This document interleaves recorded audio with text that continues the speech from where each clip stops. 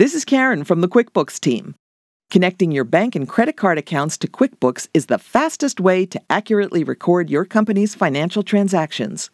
Let's go over how to connect a bank or credit card account to QuickBooks and choose how far back you want QuickBooks to pull your transaction history. To get started, select the Transactions menu. There are two ways to bring in transactions from your bank and credit card accounts. The first option is to download your company's historical transactions from your bank and credit card in a file. Then you can upload that file so QuickBooks adds those transactions to your accounts. If your bank doesn't have the option to connect your accounts, you can usually still get a file and upload transactions manually. However, keep in mind you need to upload a new file every time you want to bring in more transactions. The second option is to connect your bank or credit card so QuickBooks downloads your transactions automatically. Let's connect an account. Select your bank or credit card from the list of popular financial institutions.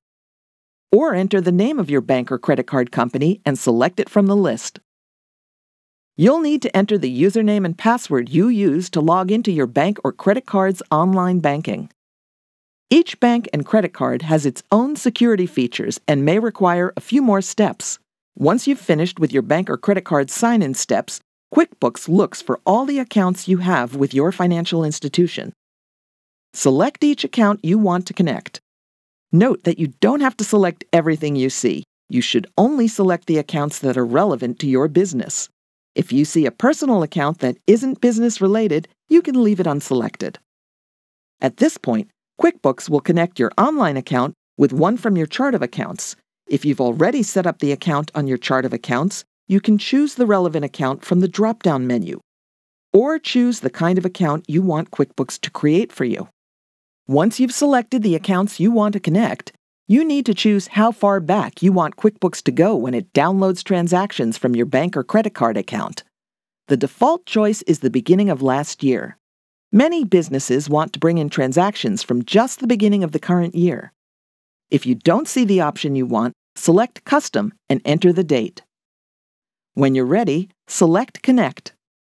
Once the connection is complete, you'll see all your business transactions that cleared your bank or credit card from the date you entered to today. When more transactions clear your bank, they'll appear on this list for you to review. The next step is to categorize them so QuickBooks adds them to the correct accounts. Follow the link at the end of this video to learn how to do that. Now you're ready to connect your bank and credit cards to QuickBooks Online.